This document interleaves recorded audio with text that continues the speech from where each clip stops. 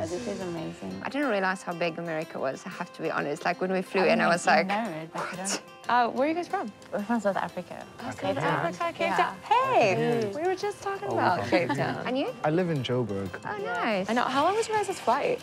Ours was just 32 hours.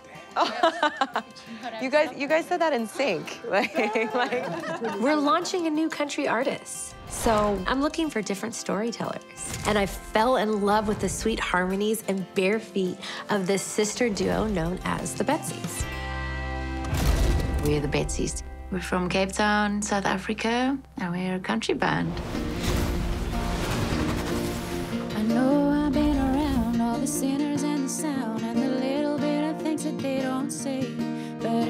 Ever get to you, I just hope that you don't walk away.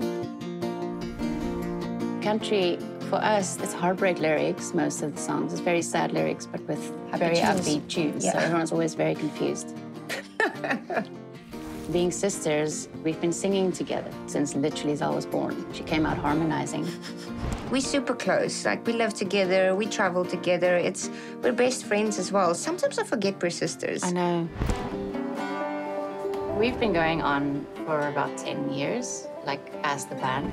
we set our careers aside um, to, to pursue that and see wh- if we can get somewhere with it. Our dream is to make music for a living, and we can't do it in South Africa.